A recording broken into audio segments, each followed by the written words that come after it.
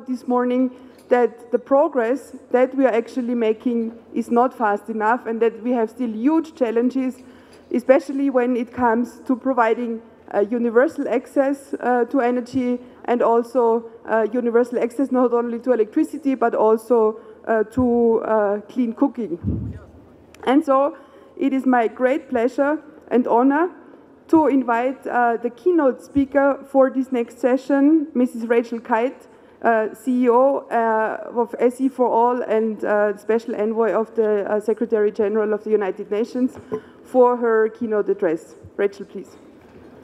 Muy buenos días, todas y todos. Uh, I'm delighted to be here in, uh, in DFA at this uh, wonderful conference, and I want to extend my uh, thanks to the government of Mexico, a great partner and leader in the movement uh, for sustainable energy for all, for their kind hospitality, and also to thank all of the partners in the organizing uh, of today uh, for, for such a great job. On behalf of the Secretary General, I also want to extend the condolences and solidarity of the United Nations system uh, to the people of Mexico following the uh, powerful and dangerous uh, earthquake last, uh, last week. And of course, uh, we continue to see the pain and anguish of the people of many of the Caribbean islands and of the big neighbour to the north, um, as they um, attempt to begin to build back better from uh, the storms of the last uh, few days. Um, a lot was already said in the first session, and I'm, I'm going to cut my comments a little bit so that not so we don't repeat. But some things are worth really bearing down on. Uh, we are not on track uh, for the decarbonisation of the economy that we need to achieve mid century if we were serious about the below 2 degrees and well on our way to 1.5 degrees that we um, talked about and agreed with each other in Paris. We're also profoundly off track on some elements of the Sustainable Development Goal 7 on energy. Uh, we are, and you've seen the numbers, at about a billion people who lack uh, electricity, affordable, reliable, clean uh, power.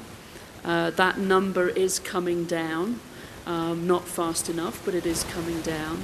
But then when we look at the 3 billion people who don't have access to clean cooking, that number's actually going up.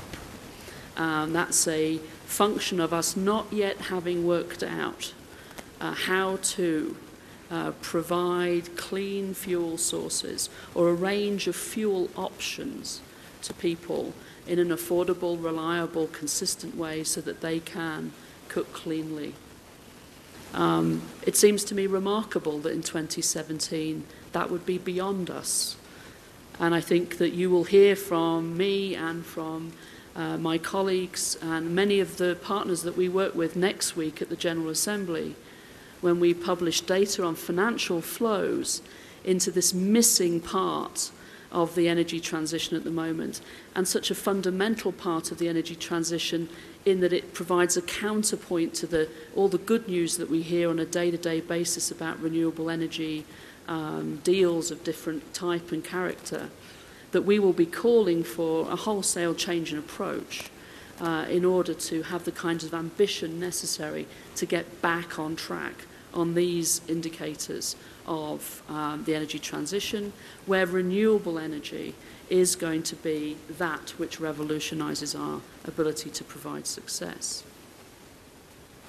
So I want to go to this drumbeat of success that we hear now uh, about renewable energy. And it has something of a lulling effect, perhaps. Um, in a world where there's lots of bad news, every day we can hear about a auction with a bid at some remarkably low number. We had the wind energy um, uh, uh, success of the United Kingdom recently. We've had uh, the speed with which Mexico is um, offering opportunities to the private sector being quite phenomenal. So we, we see bids, we see deals, we see numbers, we see uh, new technology, we see new um, uh, things happening all of the time. What we miss still is the underpinning for speed and scale. And I think it's very important that we understand that uh, we have not yet fully embraced institutionally, regulatorily, and the financial markets have not yet embraced uh, the potential and perhaps I would say the inevitability of what renewable energy is going to bring to the energy transition. And this is where the partnership between government and the private sector becomes critical at a level where we still don't yet exploit it fully on a consistent basis. So we know how to build those kinds of partnerships around specific projects, around specific initiatives, but there's still plenty of room in the public private dialogue and in the public private partnership to allow for things which are incoherent with a move towards decarbonisation. The signals that are being sent by those governments that are putting in place a table setting that will support long term investment around aggressive targets and goals, who are working on the institutional fabric necessary to underpin a drive for energy productivity across the economy and a, a quantum leap in the amount of renewables in the mix. What we can see from the countries that pursue those kinds of approaches is the beginning of scale and the beginning of speed and the beginning of the attraction of all kinds of resources, domestic as well as international. And domestic is often overlooked, but that will be the generating force for success for most countries. And it's no secret because in the data that the World Bank Group and others have worked on, which we have uh, pushed out as far as we can, uh, SE for All, that shows the regulatory indicators for sustainable energy, we can see what recipes are working from the regulatory perspective, what institutional reforms are beginning to work, and we can see that there is much that government can do to actually sustain the kinds of success that should come from the precipitous fall in the price of technology in the renewable energy sector, the kinds of innovation and the kinds of new products and business models that are coming to the market. And this is important because otherwise the finance is just being trapped into a few markets. And when we look at the numbers that come from Bloomberg New Energy Finance and others, we see that there is a flow of finance into renewable energy, but it's going to some places, not others. Those with good regulatory uh, regimes are, of course, rewarded. But if we are going to really realize the promise of renewable energy, and realize the promise of the Paris goals and realize a need to bring everybody with us, leave no one behind, close that energy access gap, then we are going to have to support all countries to put in place that table setting that will allow renewable energy to take up much more of the space in the future energy mix. So we have to, in this room, we are the persuaded, we are the converted, we need to be able to project our vision of success. We need to be able to talk with confidence that a decarbonised, decentralised, digitalised set of energy systems will be able to provide on a predictable basis, on an affordable basis, on a reliable basis, the kind of energy services that a modern economy will need. And that we can do that from wherever we are starting now we will have to do that all over again for Barbuda. We will have to start from scratch. We will have to be able to do that in Jamaica and in Mexico and in Brazil and in Chile and in Ecuador and in Venezuela and in Argentina. So this is a region which, despite some political difficulties already and in the years of, in, the, in the months and years to come, needs to be able to work collectively together and individually to put in place what will sustain the remarkable revolution of renewable energy. It is possible to fall back. This region cannot afford to do so. But that being able to have the confidence and to show government and the private sector where that decarbonised, decentralised, digitalised system is going to take root, I think is the job of the people in this room. Because, and Fatih talked about a few buts, the things that aren't happening. I want to express them a little bit differently as challenges, but ones that have to be overcome. The first challenge is one of coherence. Right? We are still investing far too much in the energy system of the past. It, it is the economic equivalent of sending bad money after good. Fossil fuel subsidies are still far too high. They are pernicious. One disappears and another one appears. They appear within the economies that have promised to phase these out on a specific period of time. And Mexico, as a G20 member, notwithstanding the political difficulties of the G20 right now, has to continue to take the lead and support Argentina to push those energy intensive economies that need to be phasing out these uh, subsidies, needs to be able to continue to do that. Pricing. Mexico has taken the lead in carbon pricing, and together with Canada and California, we, we could imagine the emergence of some kind of uh, effective pricing across a large amount of North, North America, notwithstanding what Washington might say. But we need to be doing this and driving this forward on a timeline that has eluded us uh, up to now. So there needs to be coherence in the economic policies and the way in which we approach this, both individually as countries and then uh, regionally. We need to think much more about integration. Renewable energy allows us the opportunity to build integrated energy systems, both decentralized and centralized. And the decentralized renewable power option will allow us to close the energy access gap more quickly and more cheaply than any other solution that's on the table at the moment. We have put up with energy systems that don't serve everybody and don't serve them cleanly or well or affordably or reliably up to now. That is not the promise we made ourselves in 2015. Integration can also be about how to make renewables work even more effectively and more efficiently within the system, using hydro and solar together, large scale, mini scale, finding the opportunities to bring technologies harnessed together. That requires, of course, that work on institutions and work in planning uh, behind it. And then beyond energy, renewable energy offers us a revolutionary opportunity for the actual creation of energy, but it's also offering renewable energy revolutions in transport and industrial processes. And as the Energy Transition Commission has said, it is these twin, these twin challenges of both decarbonising the energy system and decarbonising the industrial sectors that use it that will be the key to success for a decarbonised economy by mid century. And then finally, I want to talk about the financial sector.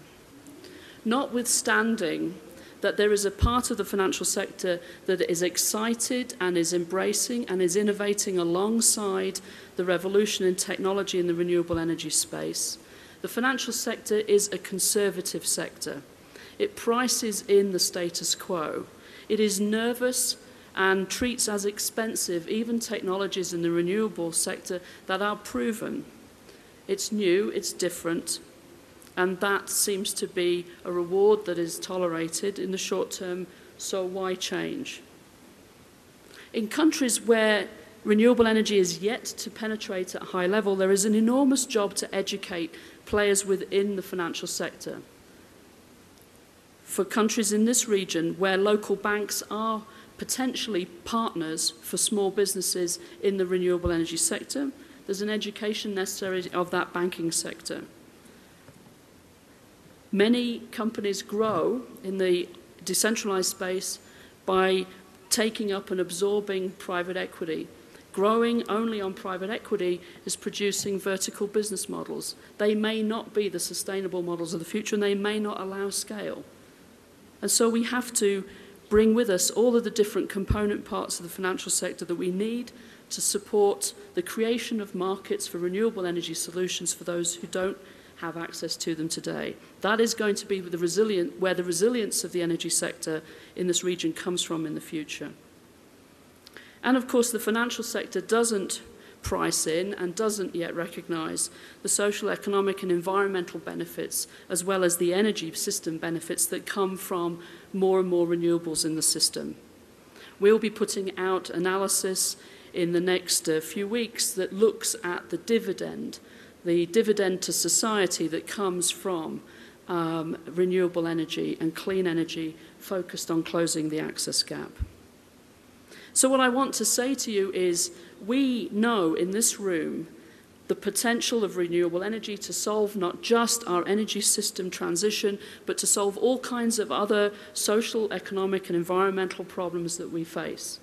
We understand how exciting and how fast this transition could go. But we have a job to go out into the rest of the world and bring on more and more and more partners. And we have a responsibility to call out incoherence when we see it, to make the case for long term bravery in decision making by leader, government leaders and to make the case for more and more corporates to come in and make the commitment to renewable energy because we know that when corporates do that, they themselves create a whole effect, both in the, the financial sector and in the corporate sector itself. So, this is a region that has been at the forefront of the energy transition to date. It doesn't get to stay there without uh, a renewed commitment uh, of ambition and a renewed commitment to the timeline which we set, which is mid century.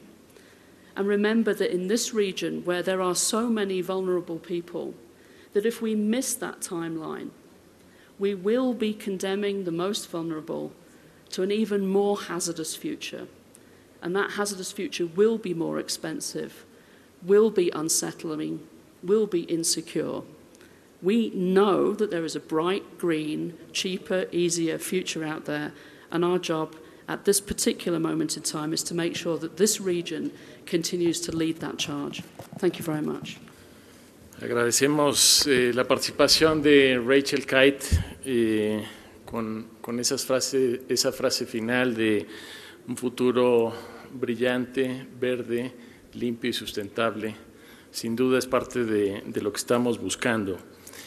Eh, mi nombre es Leonardo Beltrán, eh, yo, voy a moderar eh, esta, este segundo panel ministerial denominado Transición Energética con Renovables, la visión global de Latinoamérica y el Caribe, cómo compartimos caminos, diferentes caminos, pero compartimos los mismos objetivos. Eh, y para desarrollar la sesión tenemos eh, seis invitados eh, de lujo. quisiera invitarlos a cada uno, voy a iniciar por orden alfabético. quisiera invitar a Antonio Barbalo, gerente de práctica global de energía e industrias extractivas para América Latina y el Caribe. Eh, invitarlo a, a que suba al podio. No está por aquí Antonio. Antonio. Antonio es gerente de la práctica global de energía e industrias extractivas del Banco Mundial. Como gerente de esta práctica, lidera los compromisos, incluyendo préstamos, garantías y asistencia técnica y otras operaciones en la región de América Latina y el Caribe. El señor Barbalo tiene experiencia en el sector eh, financiero, energético, de industrias extractivas y en el sector público.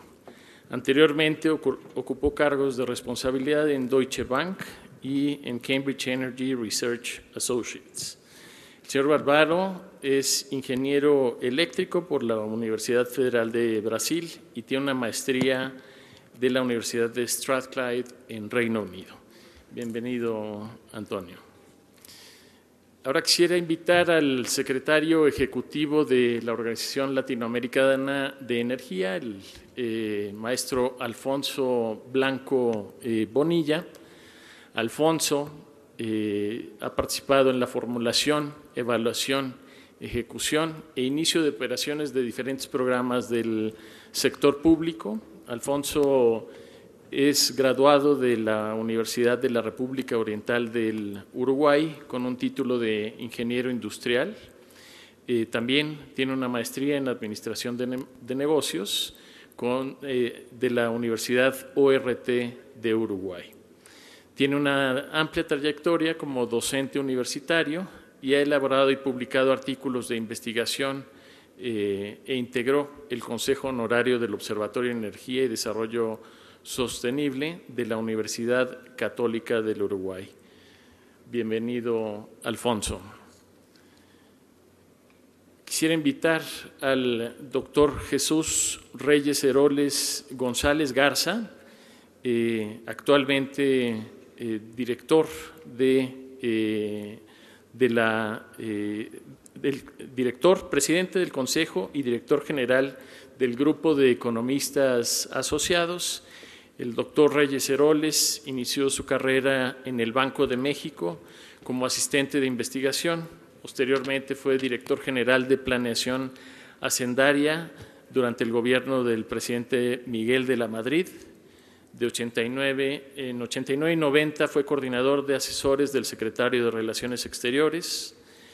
Entre 91 y 94 ocupó diferentes eh, cargos y fundó el grupo de economistas asociados. Después fue director general de Banobras, presidente de los consejos de Pemex, Comisión Federal de Electricidad y Luz y Fuerza del Centro. Fue secretario de Energía durante el gobierno del presidente Ernesto Cedillo. Fue embajador de México en Estados Unidos de octubre de 1997 a noviembre de 2000 y finalmente fue en, eh, en, el sexenio del presidente Felipe Calderón Hinojosa, director del, eh, de Petróleos Mexicanos. Bienvenido, doctor Reyes Heroles. Es, eh, el doctor Reyes Heroles estudió licenciatura en Economía y del Instituto Tecnológico Autónomo de México, estudió Derecho en la Universidad Nacional Autónoma de México y obtuvo un doctorado en Economía por el Instituto Tecnológico de Massachusetts. Muchas gracias, eh, doctor Reyes Heroles, por su participación. Quisiera invitar al señor Stephen Bull, vicepresidente senior de captura y almacenamiento de eh, viento y carbono en el área de negocios de New Energy Solutions de Statoil eh, Stephen empieza su carrera en JP Morgan Chase en Londres como analista de renta variable antes de unirse a Norsk Hydro y Statoil. Ha ocupado cargos en Statoil en, tanto en Austin como en Houston. Fue vicepresidente de desarrollo de negocios en Stanford, en Connecticut, y eh, ha escrito sobre desarrollo de la energía para varias publicaciones, incluyendo el Oil and Gas Journal, World Oil, Oxford Energy Forum de Oxford University y Oil and Gas Financial Journal. Tiene una maestría en política y economía de la London School of Economics del Reino Unido. Yo quisiera eh, empezar por eh, explicar la dinámica que estamos eh, pensando para el desarrollo del, del panel. tuvimos oportunidad de escuchar ahorita la intervención de Rachel Kite, sobre eh, esta transición energética y por qué hace sentido tener un futuro eh, energético más verde, más limpio, más sustentable, más asequible. Y como parte del, eh, del panel, el objetivo es entender desde las diferentes visiones cuáles son esa mezcla de elementos que nos van a ayudar a impulsar esta transición hacia un futuro bajo en carbono. Y para este propósito tenemos eh, los, los, panelistas que hoy nos acompañan. Eh, tenemos la visión desde el punto de vista de un organismo financiero internacional, del Banco Mundial, la visión de un, eh, de un organismo de, técnico de análisis de política pública eh, latinoamericano, la visión de una empresa eh, del sector hidrocarburos y la visión de un estadista con visión de negocios, de análisis y de política pública. Yo quisiera empezar primero viendo, eh, preguntándole al, al señor Stephen Bull, ¿cuál es el rol de una empresa de hidrocarburos en el futuro, en esta transición hacia un futuro energético más sustentable? ¿Por qué Statoil, una empresa de hidrocarburos, está pensando en incursionar en el futuro de la energía. Not Thank you very much. Thanks everyone for uh, attending today. Um, you know, Statoil's been turning uh, natural resources into energy for 45 years now, and we know that the, the next 45 years can't be the same. So, as a company, we, we fully embrace energy transition itself. We believe that um, you know Stado and, and, the rest of oil and gas industry, we're, we're, part of the problem, and we also know we need to be part of the solution in the future. There's um, different ways of thinking about this. There is no sort of single answer about energy transition. The pathway is unlikely to be smooth. It uh, will have certain roadblocks. There will be probably some dead ends and also uh, money gained and money lost. But I think it's something that's inevitable that we need to transition uh, in the future for everyone the, shift that we see in particular from, uh, from oil and gas is something that Statoil fully believes. We, we see the challenges on our own home base within the Norwegian continental shelf. We see that the access to resources is tougher, but also that our stakeholders and society is demanding something different from a company like ourselves. So, about two years ago, Statoil took the initiative to develop a new energy solutions business. Uh, this was really to pull together an existing renewables business that we'd already established since 2009, where we've gone fully quite deep into offshore wind projects, but also to pull together the carbon capture and storage side of our business, and with an executive vice president that sits around the table and competes for money, just like we do for the exploration space or for oil and gas. In the two years that we've developed this business, we've already invested $2.3 billion in offshore wind. Now, offshore wind is something that Statoil feels a, an affinity with. We're into marine operations. We're the world's largest deep water oil and gas operator. We, uh, we're used to large projects, and also we believe that this is a fantastic growth opportunity for ourselves. We have nearly a million European homes that we're providing clean energy to. We have one gigawatt in under production and development at the moment, and another four gigawatts in the pipeline already. So this is a business that we take very, very seriously. The other part as well is that we, we're going to be in oil and gas for decades to come. And, and that's just an admittance you just have to accept. Even in a 2 or 1 degree, 1.5 degree scenario, there's still a place for oil and gas in the world for the ensure the economy goes round. But tackling that needs to have carbon capture and storage. And we capture one of the largest captures of, of carbon uh, in the world today, nearly 2 million tons a year. And we're looking for business opportunities where we can develop that and also build a hydrogen business in addition. The other part as well is we have a ventures unit with $200 million. It's one of the largest that we see in, in the world at the moment. That gives us a chance to invest small scale, but actually ch- checking out other business models. We're in uh, EV charging already, which might sound strange thinking from an oil and gas company. We're also in solar, we're in geothermal, we're in developing it in storage, and also we're looking into the hydrogen business in quite a large scale at the moment. So, you know, the way we see transition itself is not really as you know, it's a threat, of course, it's the big existential threat for all of our industry, but we see this truly as an opportunity and something that we can really make, you know, something right for our shareholders and our stakeholders in the future. So for us, it's not an either or between oil and gas and renewables, it's, a, it's both and solutions. Thank you. No tenía aquí en mis notas y quiero pedir una disculpa. Eh, quisiera invitar al viceministro Li Fan Rong el viceministro de la Administración Nacional de Energía que nos acompañe. El viceministro es encargado del de, eh, sector energía de la Administración Nacional de Energía de la República Popular China. Eh, y por favor, bienvenido. Eh, el viceministro, antes de tener esta posición, era eh, el director de una de las empresas petroleras más importantes eh, de China eh, y con su visión el Partido Comunista Chino decidió que él fuera el viceministro encargado de liderar el Plan Nacional de Desarrollo a partir de eh, la visión del sector eh, energético de China.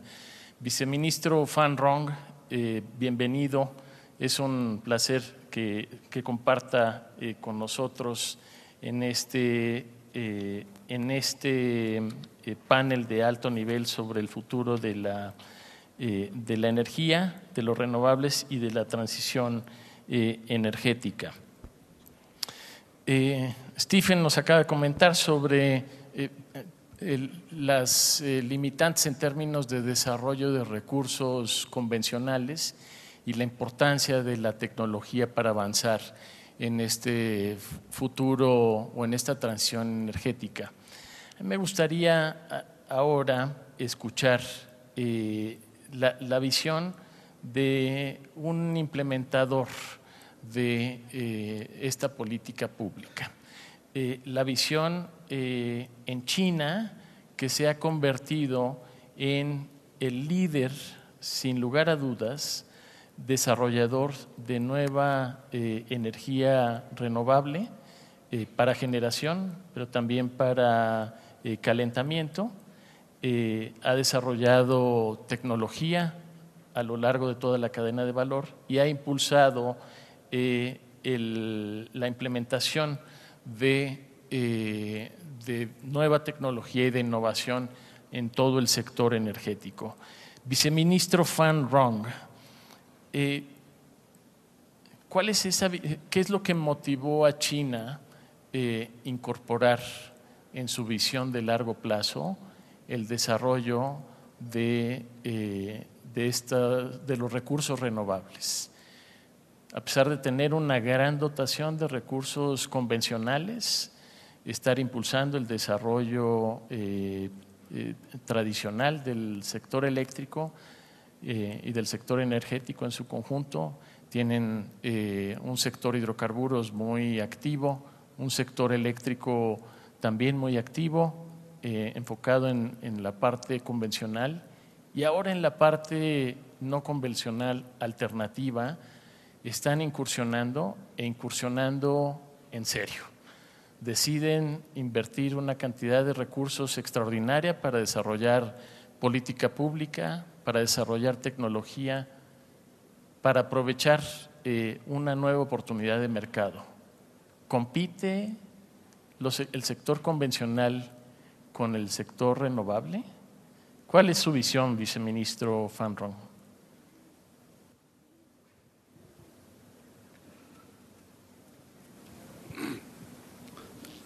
Thank you very much for uh, this opportunity.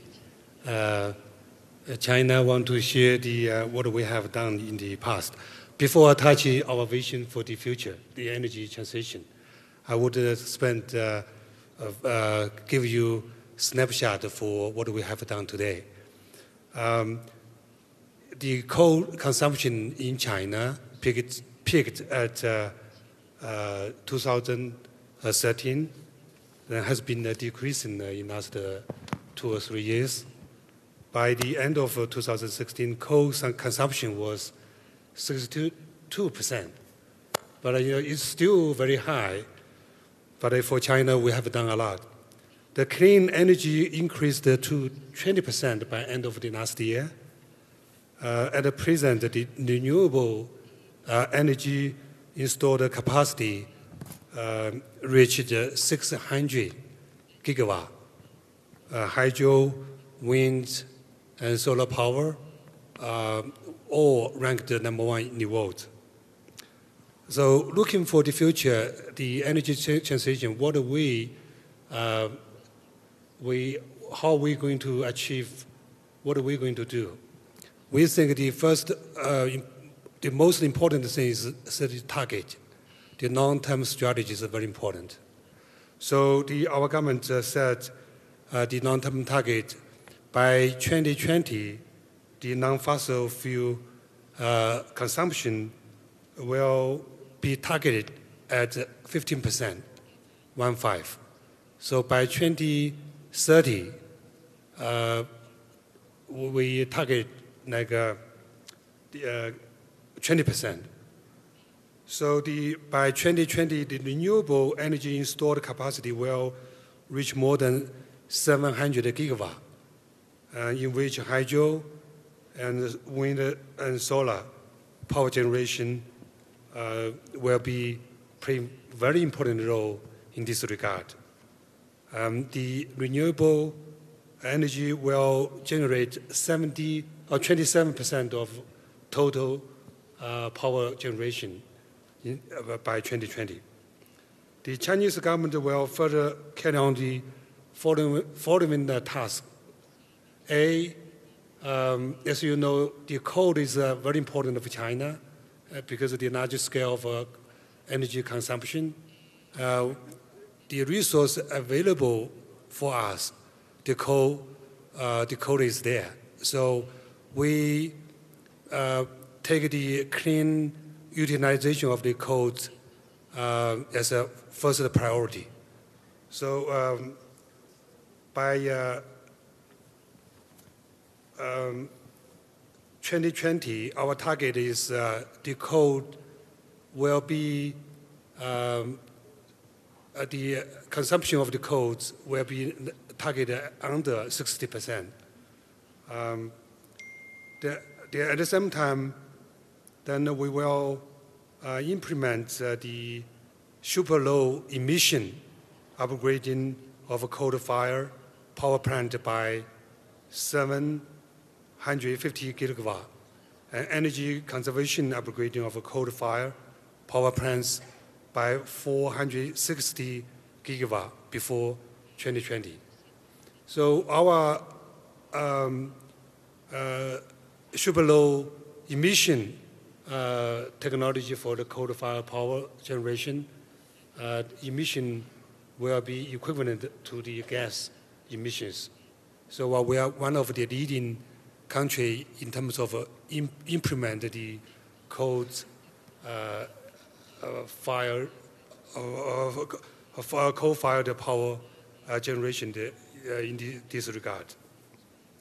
So also we are uh, the, uh, another target is uh, to increase the scale of uh, natural gas um, consumption. So by 2020, the uh, gas consumption will be 10%. By 2030, will be 15%. So also we will continue uh, steady development of renewable technologies in terms of by different uh, we'll, we'll try a different new technology in terms of uh, uh, solar powers and wind farms as well. So um, by 2020, um, the renewable uh, energy development will be a key for, uh, for us.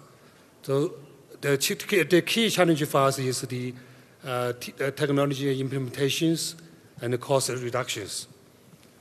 Then also uh, we will um, set the very long-term action plan for the technology, energy technology revolution, innovation action plan uh, through uh, 2016 to uh, 2013. This action plan is very sophisticated uh, planning. So we are, the government uh, try to facilitate the uh, platform for all stakeholders uh, to, you know, uh, for innovations. Um, but again, um, we are um, doing a lot in the renewables, not only in China's, uh, through the uh, renewable energy development in China, we also uh, build the full supply chain in China, which make the contribution for the faster development of in China's renewable energy, but also the whole supply chain in China make a very big uh, contributions to global renewable developments. So uh, we are looking forward to further cooperations with uh, all of you and all these stakeholders in the future. Um, but uh, again, um, we are think the partnership uh, are very important. Uh, not one single um, country can do achieve the, uh, the target, uh, but uh, the working together hand in hand is most important. Thank you all. Muchas gracias, viceministro. Eh, sin duda, el rol que juega eh, China es extraordinario. En los próximos tres años multiplicará por 10, si, si solamente pensamos en México, toda su capacidad instalada, China lo que va a hacer es multiplicar por 10 esa capacidad instalada tan solo en energías renovables. Sin duda, el tecnología juega un rol. Escuchamos eh, sobre algunos de los eh, ejemplos específicos que están desarrollando en, en China. Hay una eh, iniciativa por impulsar el desarrollo de, y crecimiento de, regional, una estrategia de reducción de costos y, por supuesto, la, la cooperación internacional. Dentro de la visión de China es completamente relevante el aprovechamiento de recursos, el desarrollo de tecnología, pero la cooperación internacional. Quisiera preguntarle ahora a alguien de la región de América Latina y el Caribe. Eh, desde el punto de vista analítico, eh, Alfonso Blanco, ¿Qué es lo que está observando en América Latina el secretario eh, ejecutivo de la Organización Latinoamericana de Energía? ¿Cuál es esa tendencia que está ocurriendo en América Latina en torno a, la transición? ¿Cuáles son las inversiones, la dotación de recursos? ¿Podemos pensar en innovación en, en Latinoamérica, en tecnología, innovación en política pública, innovación en regulación? Bueno, ¿funciona? Sí. Bueno, muchas gracias por, el espacio. Eh, yo creo que en Latinoamérica tenemos eh, situaciones bastante, bastante diferentes dependiendo de la región y de los, y de los países.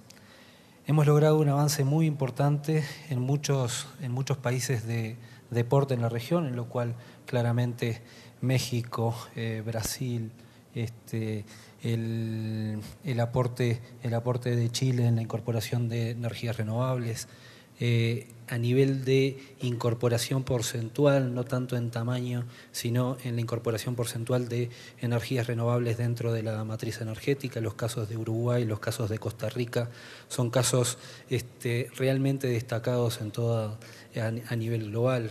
El caso de Uruguay está dentro de los países que mayor porcentaje de energías renovables tiene en la matriz de generación eléctrica. El caso de Costa Rica como este país que se proyecta 100%, eh, 100 renovable en, su matriz, en su matriz de generación en el corto plazo.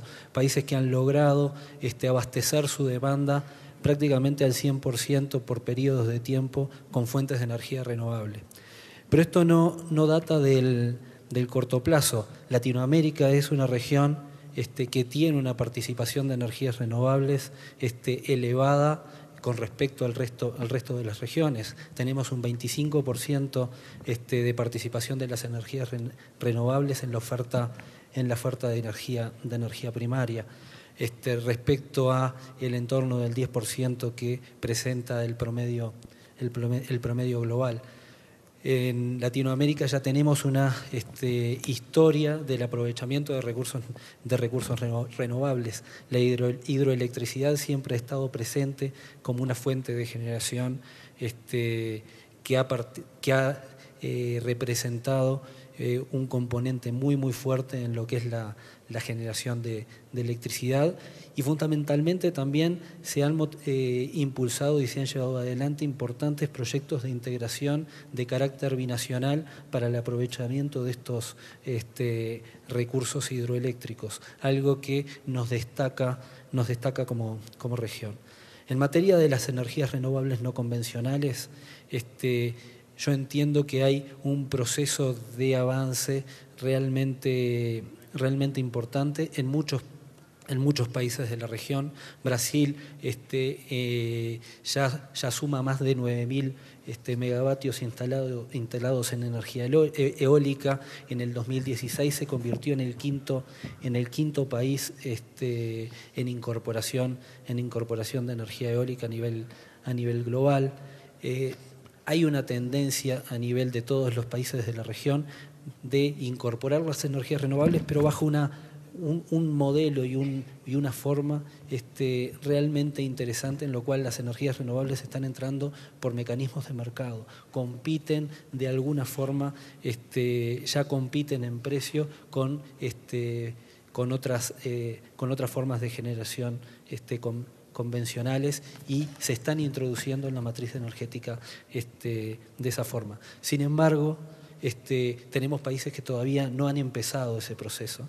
Este, tenemos países que están aún retrasados en lo que es el desarrollo de sus marcos regulatorios para este, lograr desarrollar los mercados de energías renovables no convencionales. Entonces, este, reducir esos, eh, esas brechas existentes entre, entre nuestros países es un gran desafío este, del del corto y del mediano plazo. Tenemos que impulsar a aquellos países que todavía están, todavía están rezagados en este proceso de este, iniciar su transición energética para que se unan al pelotón de eh, países avanzados en tal sentido. Tenemos recursos enormes en materia de energías renovables, tenemos un potencial muy muy fuerte en materia de energía solar, en materia de energía, de energía eólica, la geotermia, este, pero tenemos aún este, desafíos. En materia de innovación, creo que en, tal sentido estamos en, eh, en, un punto bisagra, en lo cual la incorporación de generación distribuida, microgeneración y este, el desarrollo de estos, de estos mercados este, le va a permitir a la, a la región de alguna forma este, sacar eh, provecho a la potencialidad a la potencialidad que tiene, porque en, este, en este sentido este, hay empresas del sector, del sector energía, hay este, centros de investigación, hay, este, hay trabajo a nivel de la región que pueden tener un espacio en este, en este futuro cercano, en lo cual el juego se, este, se va a centrar en los temas de tecnologías de información, redes inteligentes, este, eh, almacenamiento de energía. Tenemos que tener presente que eh, tenemos recursos en materia de litio, en materia de cobre, que van a marcar en gran parte también este, lo que va a ser el escenario, el escenario de desarrollo a futuro. Y en eso tenemos que sacarle, de, alguna forma, posicionar a la región este, a nivel internacional.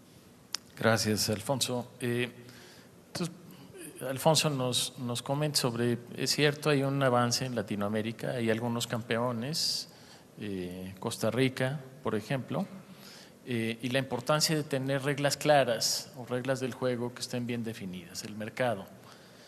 ¿Qué hace falta para escalar esto, Antonio? Desde la práctica del Banco Mundial ¿Qué se necesita para, para acelerar esa transición?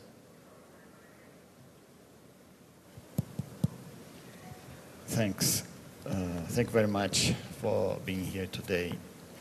This is a very uh, inter interesting topic because we would like to put it into in the broad context. How to scale up, how to accelerate the deployment of renewable energy. But in a context that we have to remind ourselves about three simple things. First, we are dealing with an industry that has almost 100 years old. This is what the power sector industry is about. The business, the business models that have been have happened, uh, they have evolved markets have been liberalized, but they're still making efficient a very old industry. That creates a new paradigm that we need to pay attention to. The second point, the, I would go for the disruptive technologies. We don't need to discuss um, how cost efficient uh, photovoltaic plants have become. We, we, we have seen this many parts of the world. We, we also could pay attention to what energy efficiency can, can, uh, technology has done. LED lamps is one example. But perhaps we are talking about a different type of technology enabled by information technology, which brings about a second major component, which is the consumer now is a customer and it affects the way the market behaves. The power system is no longer a one flow from larger power plants to consumers, but from customers back to the grid. So we have a different dynamic. And in this dynamic, we need to look at how regulations are responding to this new uh, challenge. That leads us to the third point.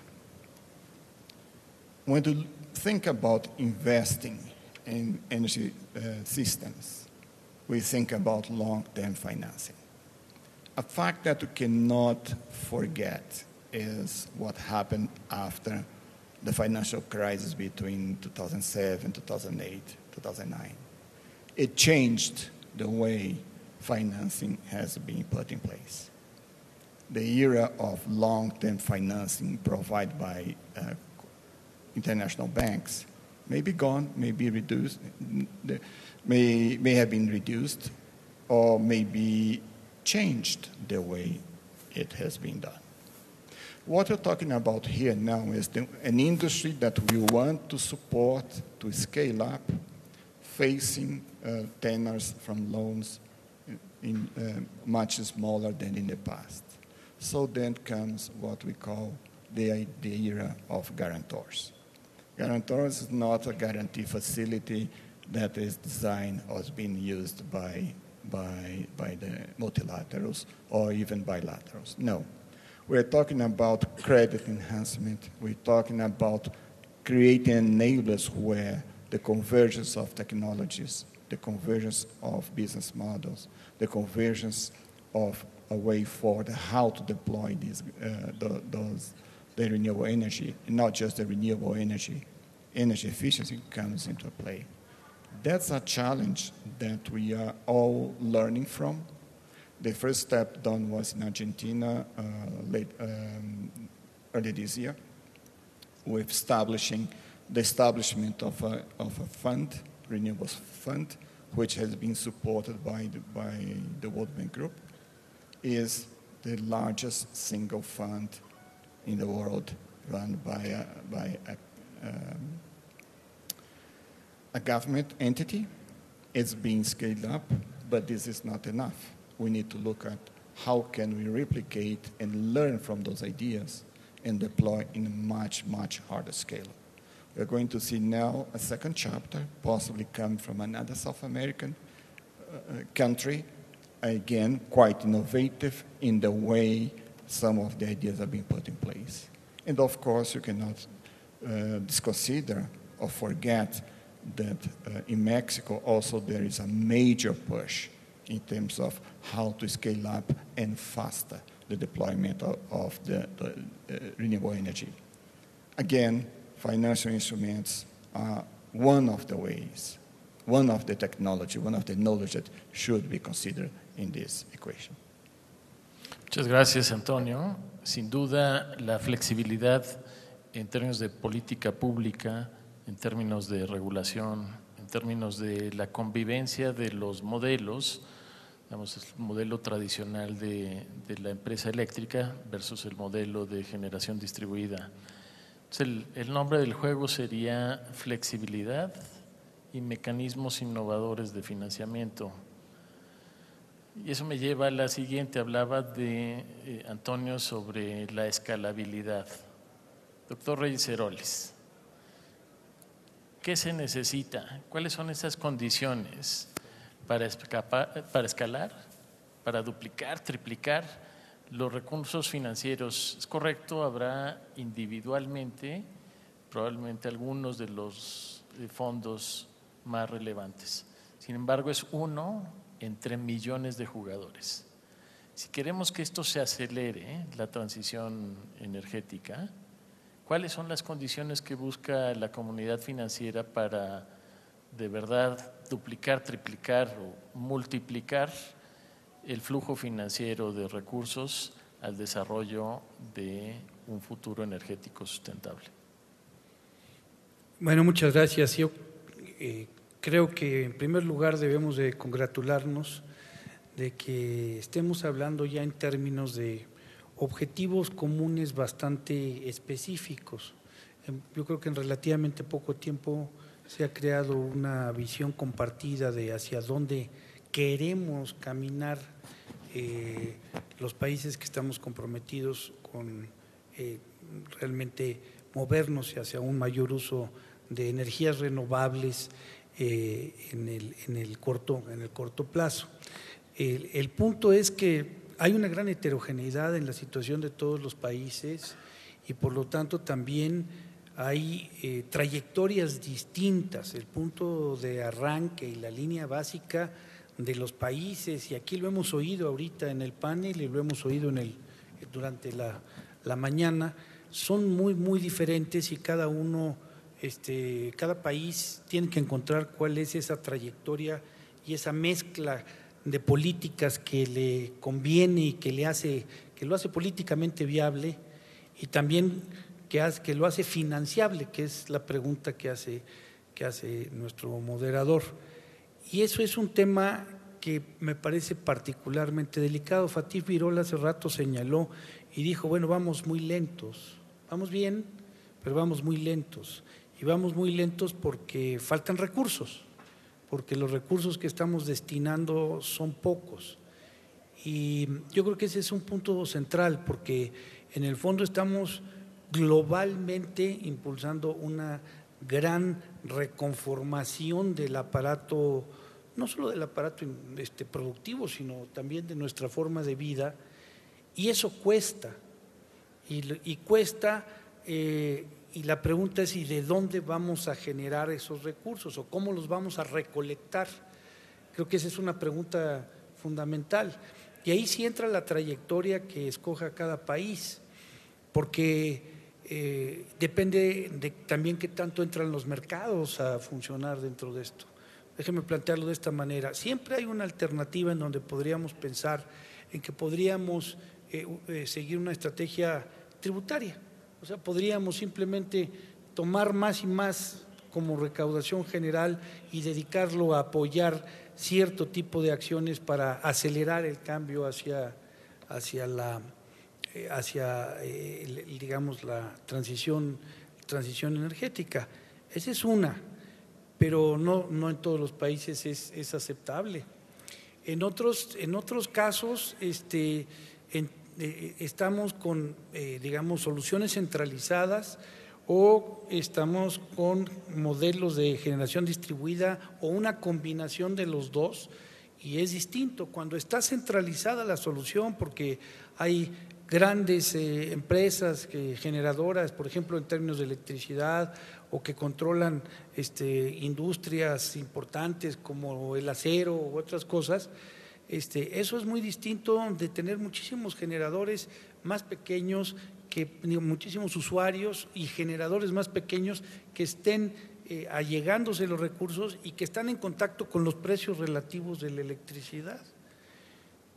Y si en medio se pone, eh, digamos, la política, una política pública de proteger a ciertos grupos sociales, como es explicable e incluso deseable, del impacto del financiamiento de la transición energética, pues el, efecto sobre la transición energética será distinto. Puede ser más lenta, puede ser con una estructura este, diferente, con menos velocidad en cierto tipo de, de tecnologías. Entonces, a mí me parece que una pregunta muy relevante que ya estamos enfrentando ahora es ¿Cómo aumentamos el volumen de recursos? Que es la pregunta que se plantea. Este, y no puede haber una respuesta única, eh, cada país lo tiene, tiene que encontrar su propia respuesta, pero sí creo que de una u otra manera tenemos que reconocer que alguien tiene que pagar la transición energética. Y no, afortunadamente nos está ayudando la rápida evolución de la tecnología.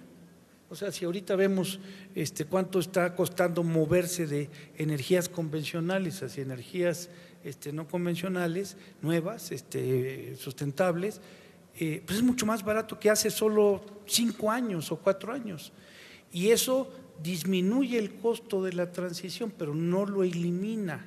O sea, movernos hacia energías renovables ahora implica una, más ahorro del que implicaba antes, pero todavía no este, genera un ahorro total en términos de que, eh, de que esas nuevas tecnologías nos permitan no tener un costo por la transición.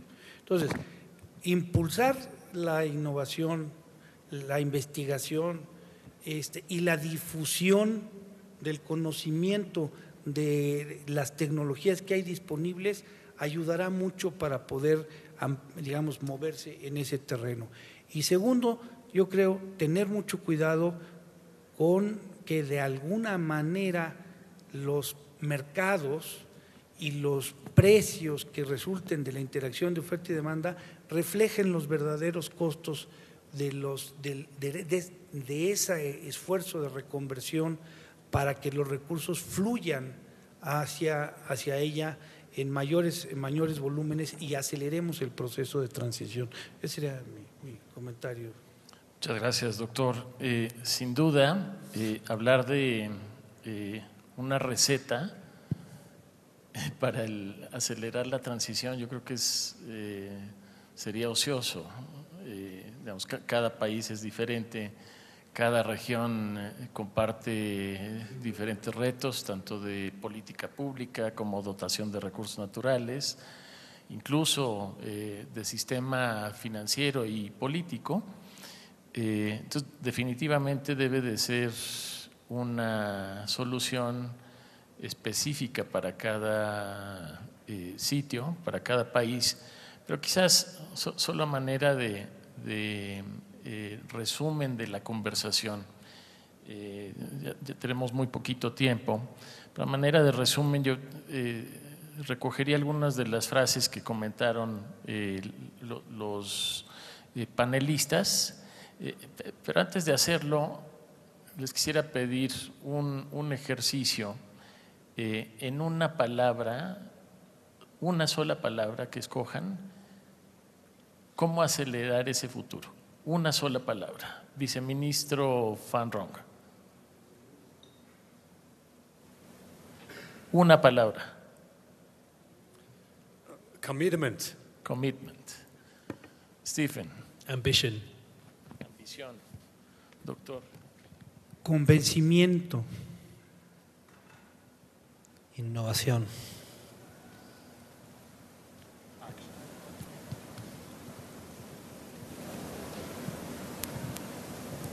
Innovación.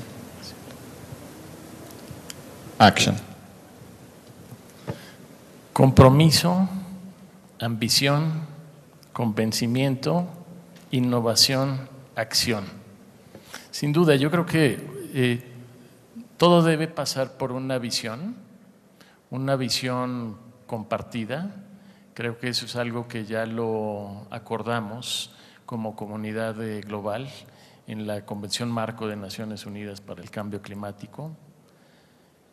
Yo creo que también tenemos una estrategia de largo plazo, el Acuerdo de París, pero también tenemos individualmente, localmente, diferentes documentos. Eh, China tiene su plan eh, quinquenal, México tiene esta estrategia de transición hacia el uso de combustibles más limpios, diferentes países, digamos, en el plan de negocios está Toil, también tienen una visión de largo plazo. La otra parte muy relevante es cooperación internacional. Es cierto que eh, puedes tener compromiso, ambición, convencimiento, innovación y acción, pero por sí solo no vamos a poder atender un problema global. Entonces, sin duda es necesario tener esta cooperación internacional y esta plataforma yo creo que es un, espacio, idóneo para poder eh, promover el desarrollo de esta cooperación sobre esa visión compartida. quizás probablemente el otro elemento adicional donde haya esa visión compartida y donde haya esa necesidad de cooperación internacional es en tecnología, en esa innovación. Eh, es extraordinario escuchar el desarrollo tecnológico en China, que hoy se aplica en México para aprovechar el recurso eólico, o el desarrollo en Alemania, que se aplica en Uruguay para el desarrollo de sus recursos, o en Brasil el desarrollo de sus biocombustibles, que hoy se utiliza parte de en la comunidad internacional. Sin duda la tecnología es el elemento transversal que nos ayuda a esa cooperación internacional para avanzar hacia ese futuro más sustentable. Pero sin duda tenemos que tener una solución individual para el reto global que en general debe contener compromiso, ambición, convencimiento, innovación y acción. Muchas gracias a todos y acompáñenme a darles un aplauso a nuestro panel de lujo.